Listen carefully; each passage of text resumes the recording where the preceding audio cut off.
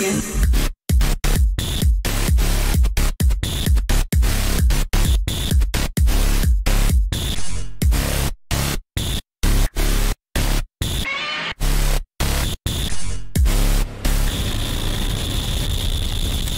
I have a special message for seniors. Uh,